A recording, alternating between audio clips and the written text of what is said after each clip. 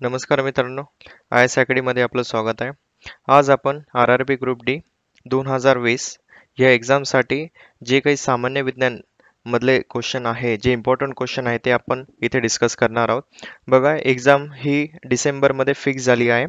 तर आपण आजपासून मोस्टली जेवढे पण टॉपिक्स आहेत त्याच्यामधले जे काही इम्पॉर्टंट क्वेश्चन असतील ते आज आपण इथे डिस्कस करणार आहोत. चला तर आता स्टार्ट करूया. बघा विज्ञानामध्ये जे काही इम्पॉर्टंट आहे ते क्वेश्चन आता आपण स्टार्ट करू. सगळ्यात पहिले आता याच्यामध्ये फर्स्ट क्वेश्चन बघा. पहिला जो प्रश्न आहे की याच्यामध्ये लिहिलं आहे की पृथ्वीचे वयोमान कोणत्या पद्धतीने मापन केले जात केले जाते? आता याच्यामध्ये आपण बघू शकतो की जे काही आपले क्वेश्चन्स आहे ते पाचवी ते दहावी मध्ये जे काही आपल्याला सामान्य विज्ञान असतं त्याच्यावरती बेस्ड क्वेश्चन असतात. आणि हे क्वेश्चन कसे सॉल्व्ह करायचे हे जर तुम्ही बुक्स पण वाचले तरी होऊन जाणार. तर आपण इथे आता काय करणार आहोत? मोस्टली एम सी क्यू जे असतात. ओके मल्टिपल चॉईस क्वेश्चन ते क्वेश्चन आपण इथे सॉल्व्ह करणार आहोत. बघा आता पहिला जो प्रश्न आहे की पृथ्वीचे वयोमान कोणत्या पद्धतीने मापन केले जाते? म्हणजे पृथ्वीचं वय आजपर्यंत पृथ्वीचं वय किती आहे? की ते कोणत्या पद्धतीने मापन केलं जातं? तर याच्यामध्ये आपल्याला ऑप्शन आहे युरेनियम मापन पद्धती कार्बन मापन पद्धती रेडियम मापन पद्धती आणि पृथ्वीच्या गाभ्याच्या गाभ्या गाभा गाभ्यावरून असं. ठीक आहे. तर आता याच्यामध्ये बघा पृथ्वीचं जे वय आपण काढलं जातं ते काढतो आपण युरेनियम मापन पद्धती. आणि ही कार्बन मापन पद्धती ही कशामध्ये यूज केली जाते? कार्बन मापन पद्धतीचा वापर होतो. बघा जे काही आपण बघतो जे इजिप्तमध्ये जे काही ममीज भेटतात किंवा आपल्याला काही झाडांचे अवशेष आपल्याला भेटतात. तर ते किती वर्ष जुने आहेत ते बघण्यासाठी त्याला कार्बन मापन पद्धती म्हणतो. किंवा याला आपण म्हणतो कार्बन डेटिंग असं म्हणतो. ओके तर ही गोष्ट लक्षात ठेवा. कार्बन डेटिंग किंवा कार्बन मापन पद्धती हे जे काही अवशेष सापडतं आपल्याला त्याच्यासाठी आणि पृथ्वीचे वयोमान मेजर करण्यासाठी आपण वापर करतो ते आहे युरेनियम मापन पद्धती. आता पुढचा क्वेश्चन दुसरा क्वेश्चन बघूया की विद्युत शक्ती हे कशामध्ये मोजतात? ओके विद्युत शक्ती कशामध्ये मोजतात? अँपियर कुलम वॅट किंवा होल्ट. ओके तर विद्युत शक्तीचं जे काही आपण मेजर करतो ज्याला आपण विद्युत शक्ती म्हणतो ते आपण मेजर करतो वॅटमध्ये. बघा आपल्या घरी जो बल्ब असतो बल्ब आपण तो वॅटमध्ये मेजर करतो आणि वॅट हे विद्युत शक्तीचं एकक आहे. ठीक आहे? चला आता पुढे बघूया. ध्वनीचे वहन खालीलपैकी कोणत्या माध्यमातून होणार नाही? त्याच्यामध्ये ऑप्शन दिले आपल्याला धातू पाणी हवा आणि निर्वात पोकळी. बघा निर्वात पोकळी याचा अर्थ काय होतो? की निर्वात पोकळी याला आपण इंग्लिशमध्ये म्हणतो आपण व्हॅक्यूम ओके? तर व्हॅक्यूम म्हणजे काय? की जिथे कोणताही प वस्तू अवेलेबल नाही किंवा तिथे हवा नाही पाणी नाही किंवा स्थायू मीडियम असं मीडियम जे आपण म्हणतो माध्यम म्हणतो तिथे अवेलेबल नाही. तर अशा माध्यमातून ध्वनीचं वहन होत नाही. तर ध्वनीचं वहन लक्षात ठेवा. धातूतून जे होतं ध्वनीचं वहन ते सर्वात स्पीड ज्याला आपण म्हणतो ध्वनीचा वेग. ओके? ध्वनीचा जो वेग असतो ध्वनीचा वेग याच्यावरून लक्षात ठेवा. ध्वनीचा वेग जो असतो तो स्थायूमध्ये सगळ्यात जास्त असतो. स्थायूमध्ये बघितलं तर सगळ्यात जास्त असतो त्याच्यानंतर येतो हा येतो द्रव स्थितीमध्ये आणि त्याच्यानंतर येतो वायूमध्ये. आपण जे काही ध्वनी ऐकतो ते वायू थ्रूच ऐकतो. बरोबर? वायूतून होणारं ट्रान्सफर किंवा वायूतून होणारं त्याचं काय म्हणतो आपण वहन ते आपण ऐकतो. तर याच्यामध्ये लक्षात ठेवा की ध्वनीचे वहन कशातून होत नाही फक्त निर्वात पोकळीतून होत नाही. बाकीचं ध्वनीचं वहन पाण्यातून होतं धातूतून होतं आणि हवेतून होतं हे तर आपल्याला माहितीच आहे. आता पुढे बघा चौथा जो क्वेश्चन आहे तो आहे E N T specialist doctor कोणत्या प्रकारचा आरशाचा उपयोग करतात? सगळ्यात पहिले आता आपल्याला माहिती पाहिजे की ई एन टी स्पेशालिस्ट म्हणजे काय? ई एन टीचा अर्थ होतो e ईचा अर्थ होतो इयर एनचा अर्थ होतो नोज आणि टीचा अर्थ होतो थ्रोट ओके ज्याला आपण काय म्हणतो की कान नाक घसा ज्याचं स्पेशालिस्ट आहे. ओके जे डॉक्टर्स असतात ते काय यूज करतात? तर ई एन टी स्पेशालिस्ट कोणत्या प्रकारचा आरसा यूज करतात? तर तो आहे इथं आपल्याला ऑप्शन दिलाय की अंतर्वक्र आरसा असतो की बहिर्वक्र असतं की अंतर्वक्र भिंग असतो की बहिर्वक्र भिंग असतं. बघा याच्यामध्ये जे जे काही ते आरसे वापरतात पहिली गोष्ट तर इथं आरसाच यूज करतो आपण भिंग वापरत नाही. ठीक आहे?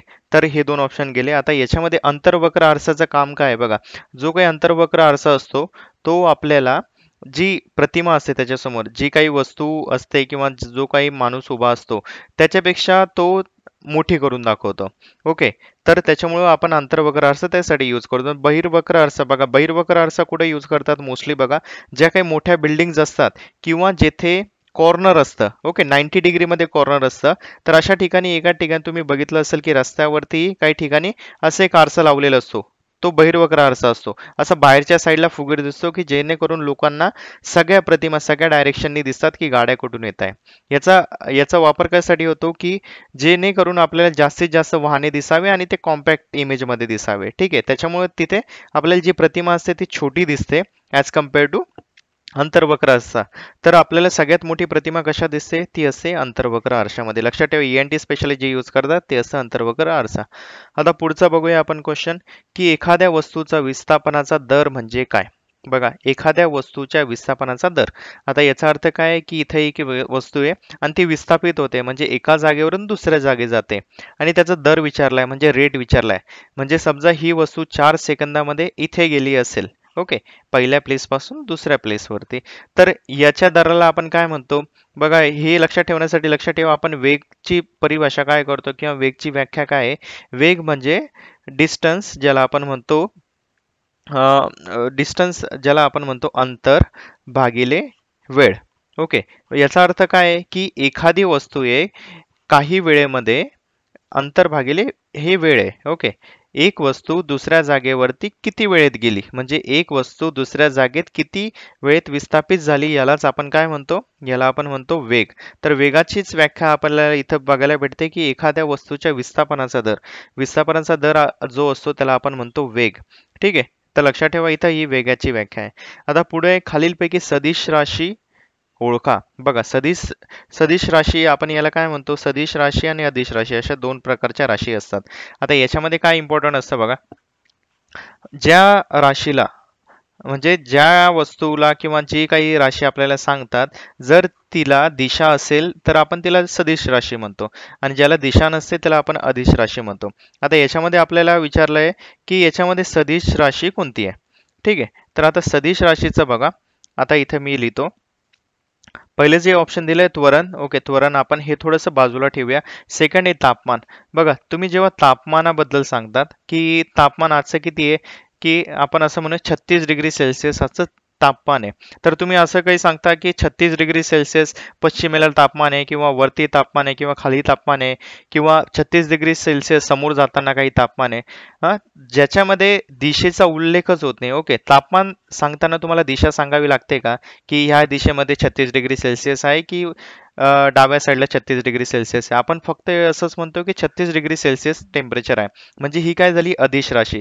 हिला सांगण्यासाठी आपल्याला दिशेची गरज नाही. सेकंड आपल्याला काय सांगितलं? वस्तुमान. ओके वस्तुमान. ज्याला आपण वस्तुमान म्हणजे काय? इंग्लिशमध्ये याला आपण म्हणतो मास. तुम्ही सांगता आपण म्हणताना कसं म्हणतो हे की एक के जी एखाद्या वस्तूचं वेट किती आहे? एक के जी आहे किंवा दहा के जी आहे? तर आपण असं म्हणत नाही की दहा के जी पश्चिमेला किंवा दहा के जी पूर्वेला.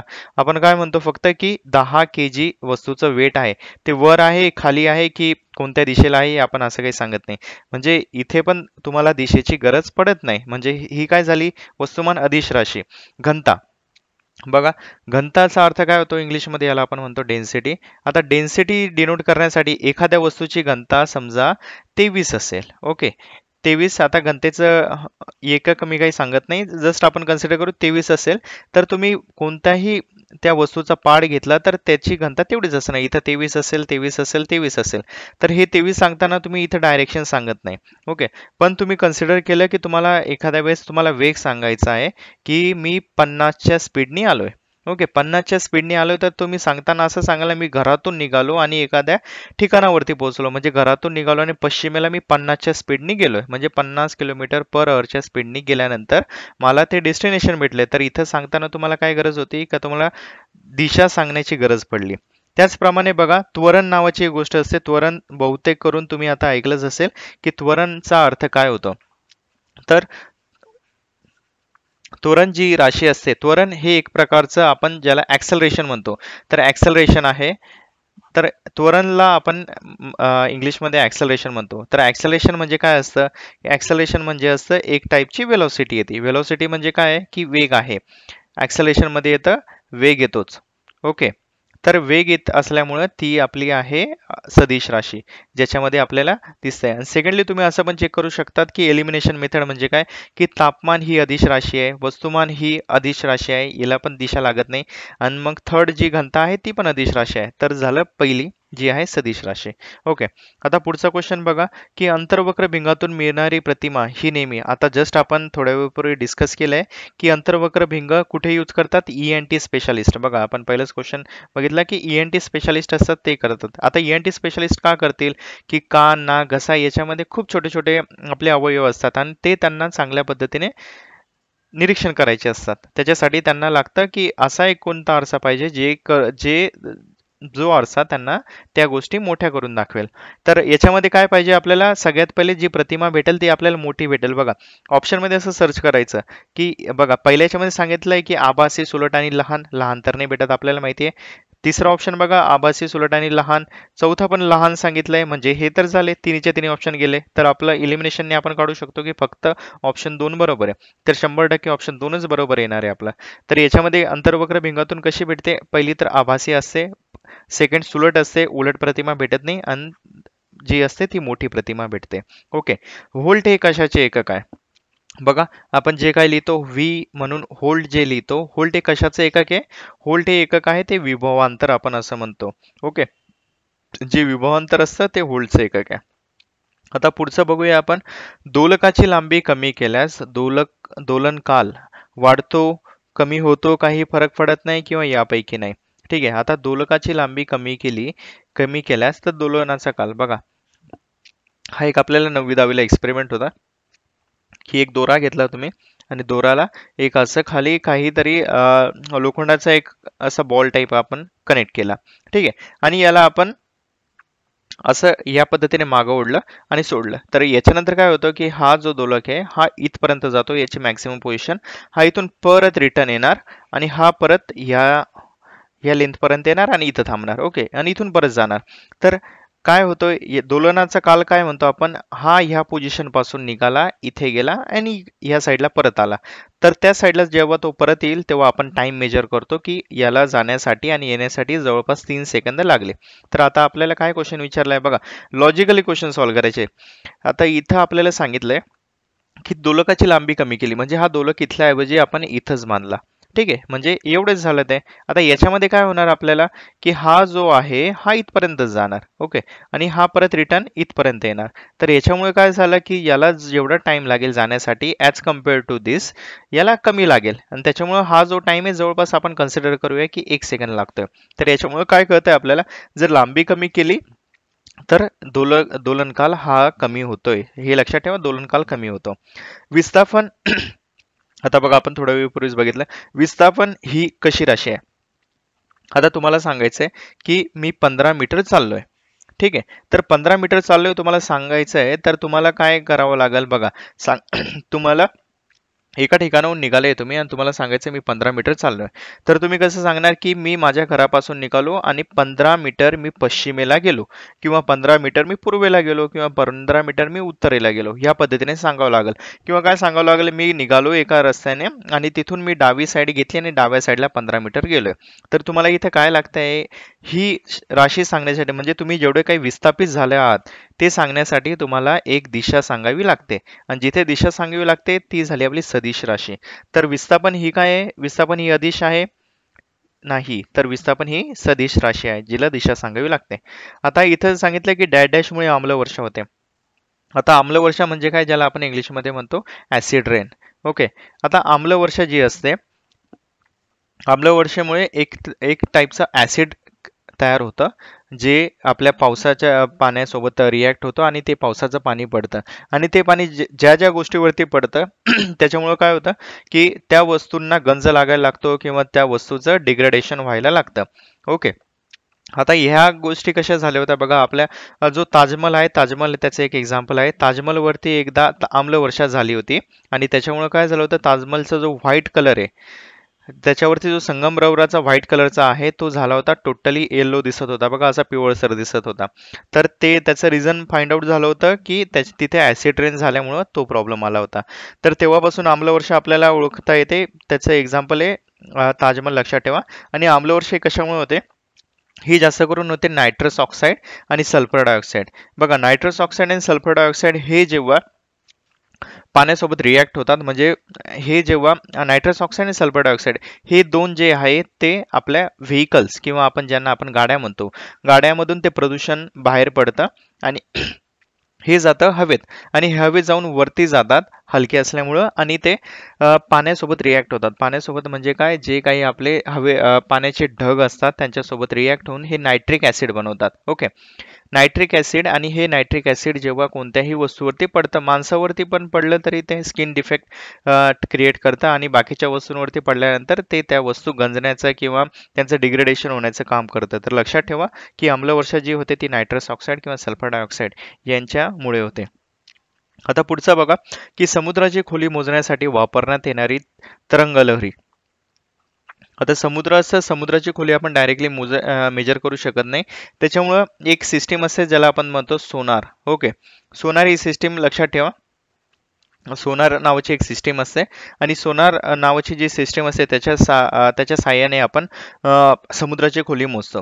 तर याच्यामध्ये जे काही तरंगलहरी ज्याला आपण म्हणतो ते यूज करतात जे वापर करतात त्याला म्हणतो अल्ट्रासॉनिक ओके हे असतात अल्ट्रासॉनिक तरंगलहरी जेणेकरून आपण समुद्राची खोली मेजर करतो. तर याच्यामध्ये काय होतं बघा बेसिकली मी तुम्हाला सांगतो.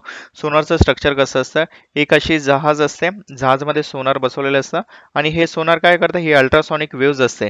इथं असतं याचं ट्रान्समीटर ओके आणि हे झालं रिसिव्हर आता ही जहाज अशी पाण्यात असेल तर याच्यामध्ये काय होतं हा ट्रान्समीटर काही लहरी अशा इथून पाठवतो ओके आणि हे जमिनीला जाऊन टच होतात. आणि इथून परत रि रिव्हर्स बॅक होतात. आणि हे जेव्हा रिव्हर्स बॅक होतात तेव्हा रिसिव्हर असतं.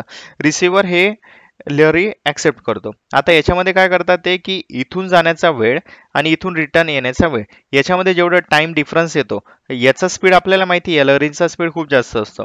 तर त्यांना ह्या लहरीच्या स्पीडला आपण डिवाइड बाय टू केलं तर हे आपल्याला समुद्राची लहरी भेटते डायरेक्टली ओके तर ह्या पद्धतीने समुद्राची खोली मोजण्यासाठी या तरंगलहरी यूज करतात. आता पुढचं बघा शक्तीचे मूल्य काय? शक्ती जे असतं शक्ती शक्ती म्हणजे जे काही असतं ते असतं बल फोर्स इंटू व्हेलॉसिटी हे त्याचं फॉर्म्युला आहे. तर आपण इथं बघू शकतो की सेकंड जो ऑप्शन आहे आता इथं काही त्यांनी लिहिलेलं नाही पण ॲक्च्युली शक्तीचा जो फॉर्म्युला आहे तो बल गुणिले वेग. हा जर केला तर आपल्याला शक्ती भेटते. ओके आता याच्यामध्ये बघा पुढचा जो प्रश्न आहे की पाण्यात क्षार मिसळल्याने त्याचा उत्कलनांक. कधी लक्षात ठेवा कोणतीही वस्तू असू द्या. त्याच्यामध्ये समजा आपण समजा पाणी आहे पाणी घेतलं आणि पाण्यामध्ये कोणतंही क्षार मिसळलेलं असेल शुद्ध पाण्याचा जो आपण उत्कलनांक म्हणतो जिथे पाणी उकळायला स्टार्ट होते ते असं शंभर डिग्री सेल्सिअस.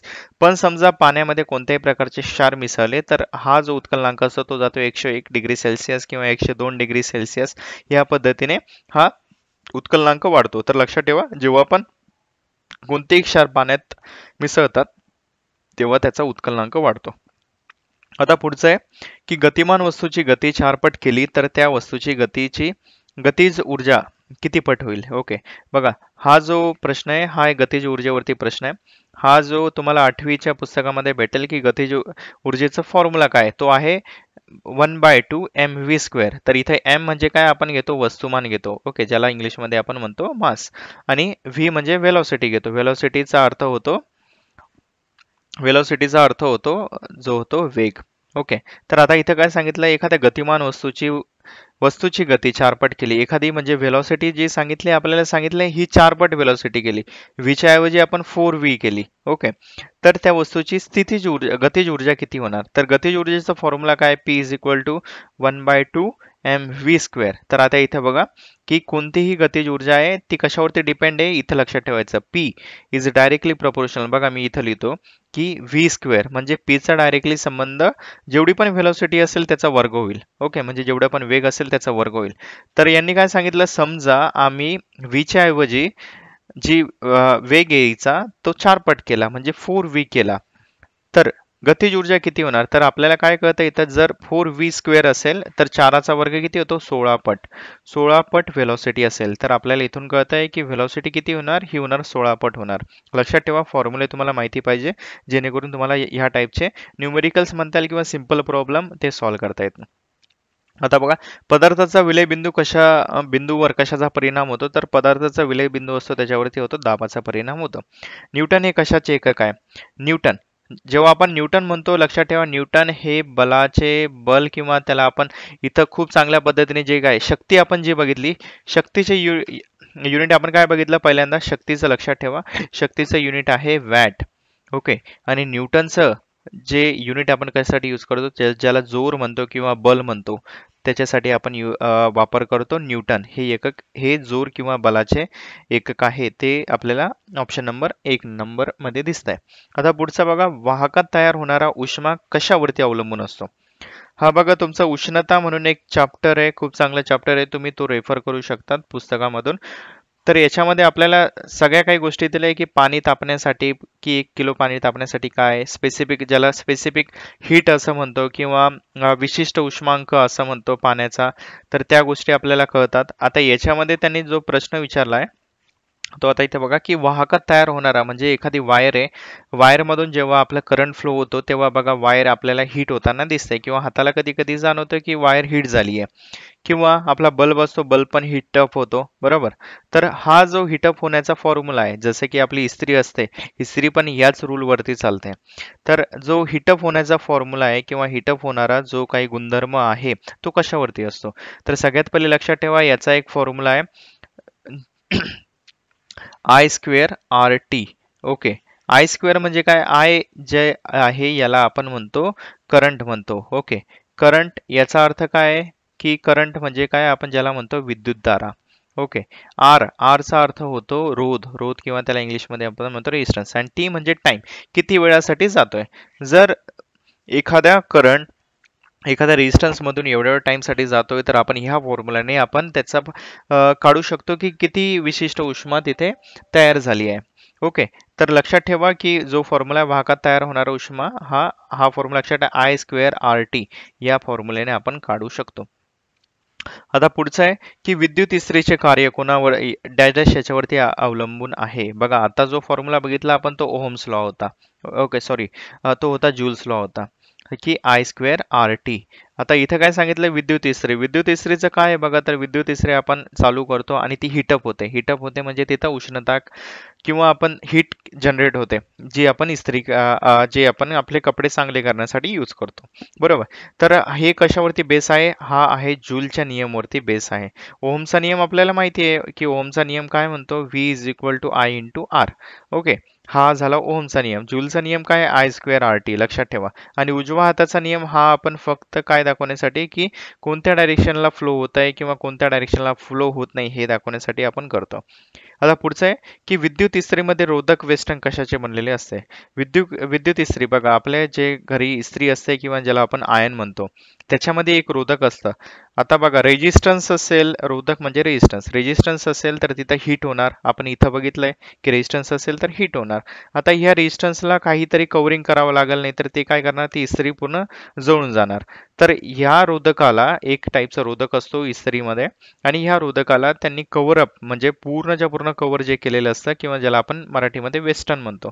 जे वेस्टर्न असतं ते असतं अभ्रकाचं. ओके अब्रकासाठी यूज करतात की अब्रकामधून जे आपली हीट असते हीट ट्रान्सफर होते पण बाकीचं ते काही रेजिस्टन्स असतो किंवा तो रेजिस्टर आहे तो सेफ असतो. ओके तर याच्यामुळे आपण काय यूज करतो? तिथं अब्रक यूज करतो. लाकूड यूज करू शकत नाही. लाकूड पण जळून जाणार रबर पण मेल्ट होऊन जाणार आणि प्लास्टिक पण मेल्ट होऊन जाणार. त्याच्यामुळे आपण ह्या गोष्टी यूज करत नाही. तर तिथं यूज करतो आपण वापर करतो ते आहे अब्रक. आता पुढचा बघा की दोनशे रोध असलेल्या तारेतून आता इथे एक प्रश्न विचारला आहे बघा हे जे क्वेश्चन आहेत ते खूप जास्त इम्पॉर्टंट क्वेश्चन आहे. जेणेकरून आपले सगळेचे सगळे एक प्रकारची आपण तयारी करतोय की कोणत्या टाईपचे क्वेश्चन विचारले जाऊ शकतात. त्या पद्धतीने आपण चॅप्टर वाईज हे क्वेश्चन तयार केले आहे. हे चॅप्टर वाईज क्वेश्चन आपण सॉल्व्ह करतोय की कोणत्या प्रकारचे क्वेश्चन येऊ शकतात किंवा कोणते इम्पॉर्टंट आहे. आता इथं काय विचारलंय की दोनशे रोध असलेल्या तारेतून पॉईंट टू एम्पियर आता इथं आर जो दिला आहे आपल्याला लक्षात ठेवा रोध म्हणजे दोनशे रोध असलेल्या तारेतून. काय सांगितलंय? आय दिलाय. की किती एम्पियर आहे? पॉईंट टू एम्पियर विद्युत धारा पंचवीस सेकंदासाठी आपल्याला टाइम पण दिलाय पंचवीस सेकंद. तर विद्युत कार्य किती होईल? ओके. तर आपल्याला हे विचारलं की विद्युत कार्य किती होणार आहे? तर आपल्याला माहिती आहे हा आय आर टी याच्यामध्ये रिलेशन असणार फॉर्म्युला काय? आय स्क्वेअर आर टी बरोबर? तर आय आय किती बघा तर पॉईंट टू आहे. पॉईंट टूचा वर्ग गुणिले आर हे झालं आपलं दोनशे. आणि पुढं किती आहे? टाइम हे पंचवीस सेकंद. बरोबर? तर आता इथं आपण सिंपल कॅल्क्युलेशन केली की point two into point two करूया आपण. इंटू दोनशे करूया. इंटू ट्वेंटी फाय करूया. ठीक आहे? आता इथे बघा हा पॉईंट टू आहे पॉईंट टू आहे. आता एक एक घर आपल्याला पुढे सरकवायचं म्हणजे दोन शून्य काढले.